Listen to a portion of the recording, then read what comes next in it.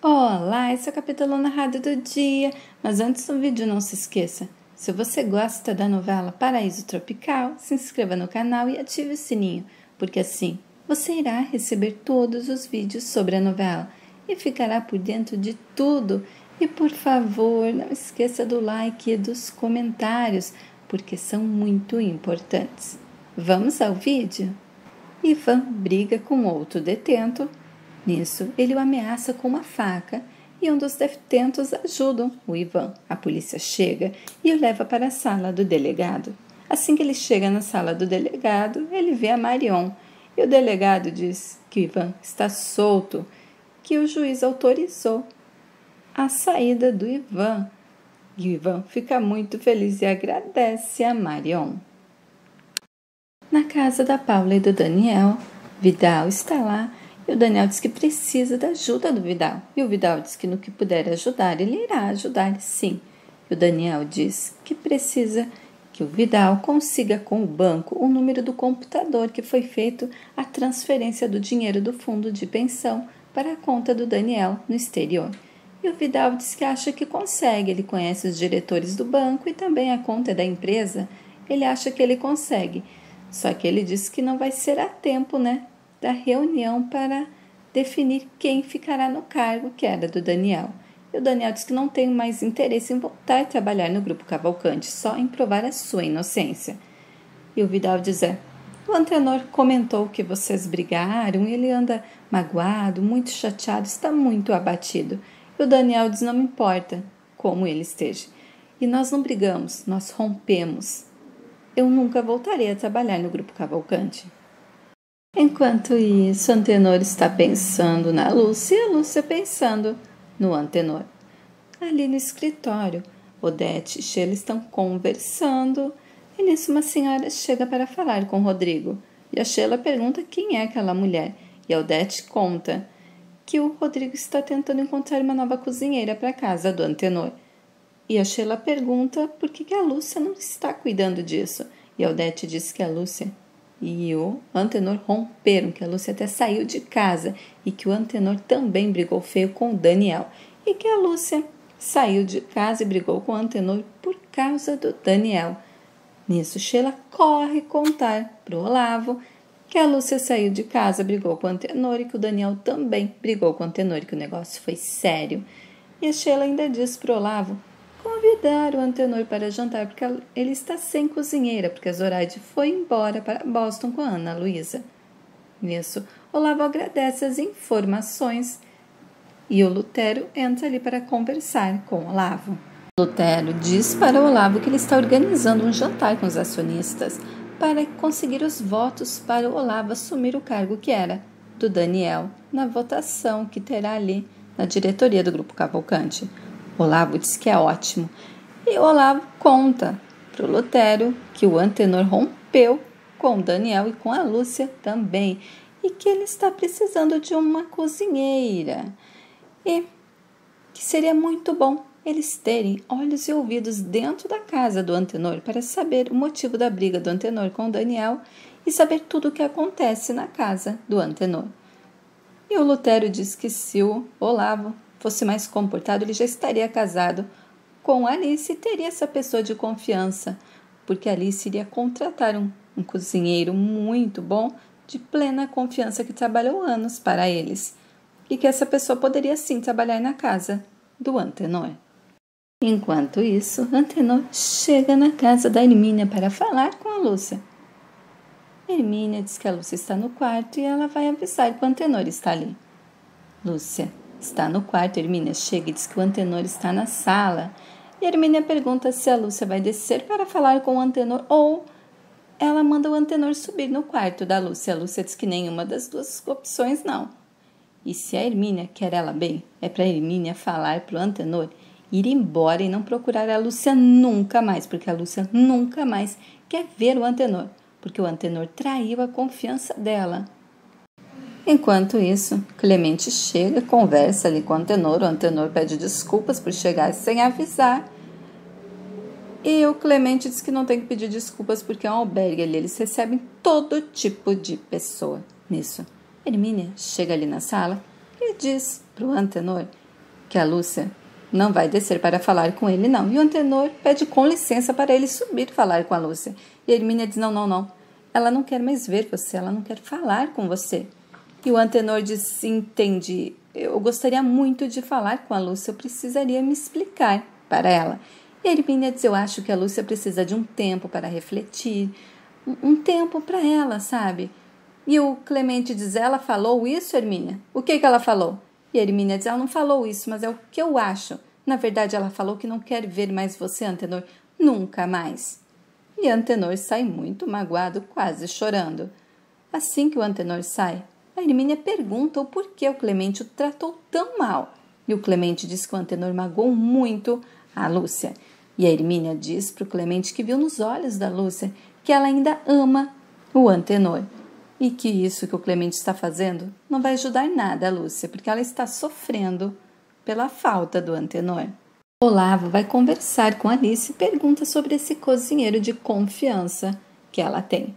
E ela diz que ele adora ela, que faz tudo por ela e que assim que ela voltou de Londres, ele a procurou.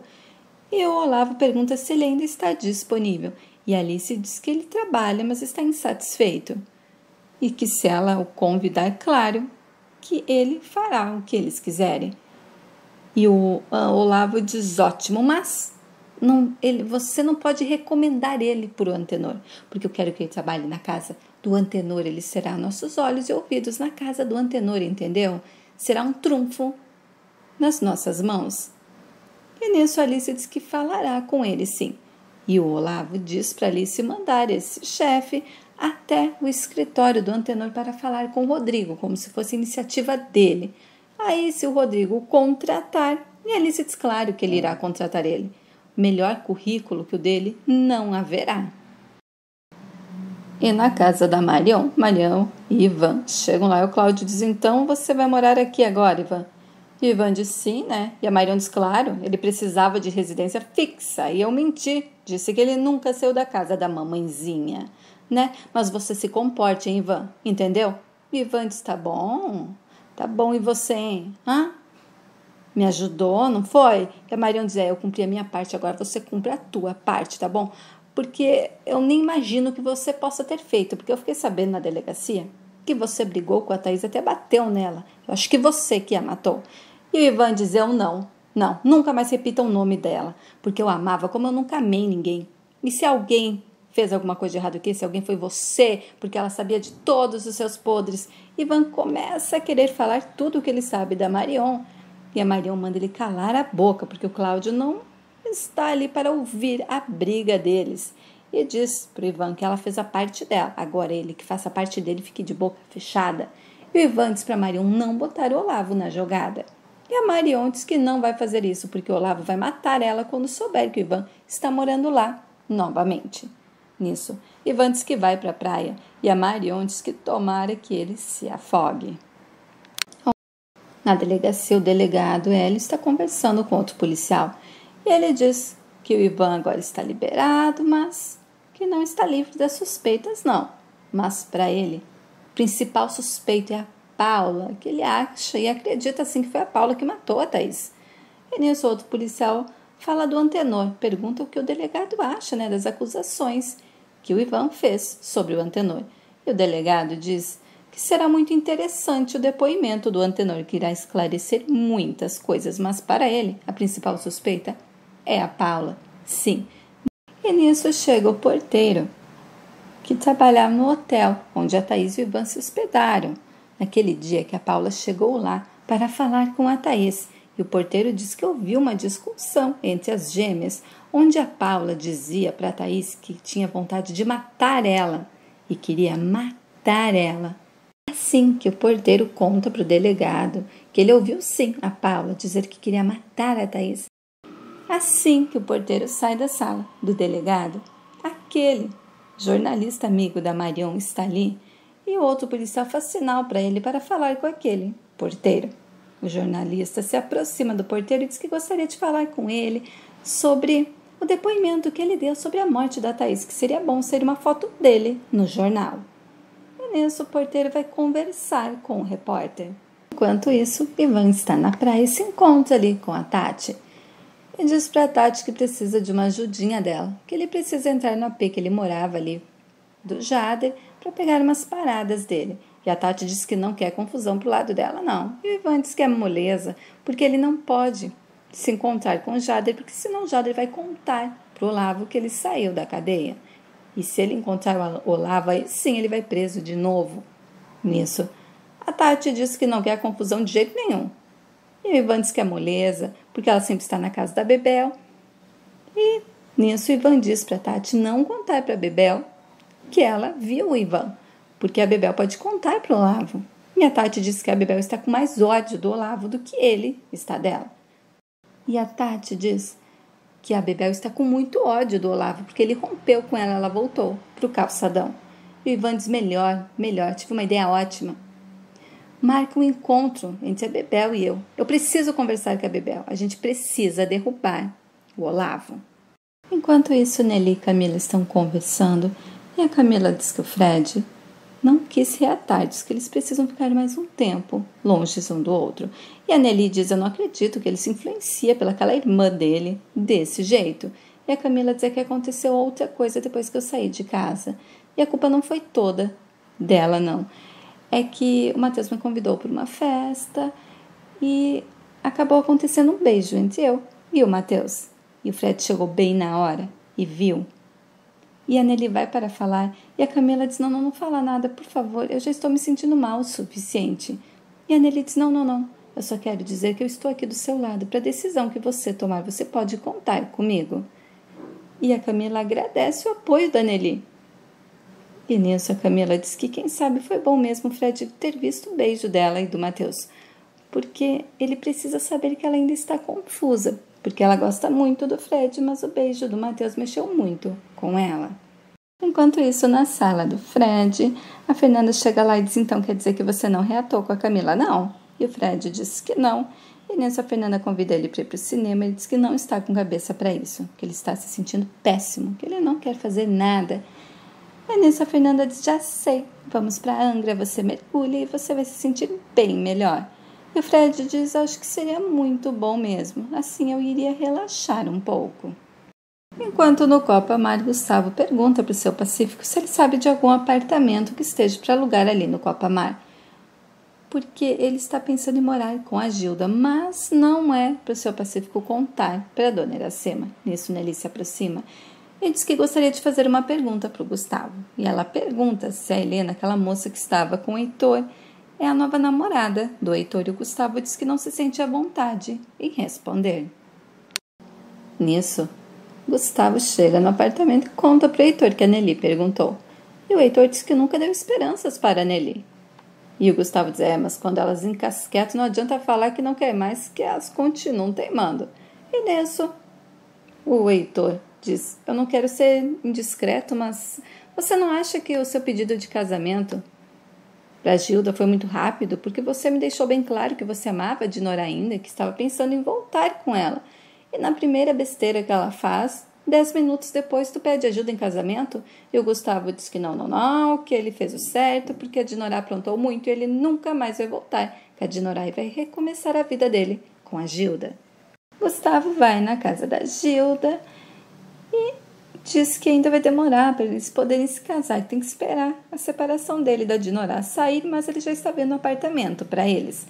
Nisso, a Gilda despena não poder casar numa igreja de véu, grinaldo, vestido de noiva, flores.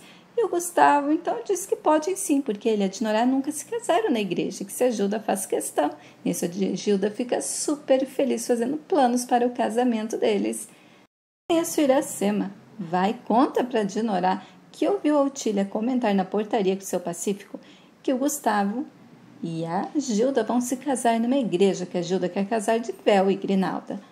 Assim que a Iracema conta para Dinorá, a Dinorá diz que não, que isso ela não vai aceitar, que ela vai dar um jeito para que esse casamento não aconteça. Enquanto isso, no escritório do Antenor, Rodrigo diz que já escolheu um cozinheiro para trabalhar para o Antenor, que é o Ismael, justo aquele que o Olavo, né, vai pôr lá dentro da casa do Antenor para espionar.